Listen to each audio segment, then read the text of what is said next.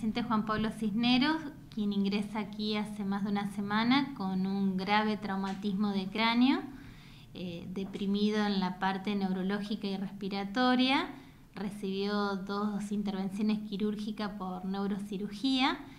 Eh, en la actualidad el paciente se encuentra sin necesidad de asistencia respiratoria mecánica, o sea, se encuentra respirando por sus propios medios continúa con un estado reservado y con un estado neurológico también reservado. O sea, este es un proceso lento que va a tener para su recuperación. Exactamente, aquí los cambios van a ser muy pequeños y van a demandar mucho paso del tiempo entre cada uno. continúa en terapia intensiva. Por supuesto.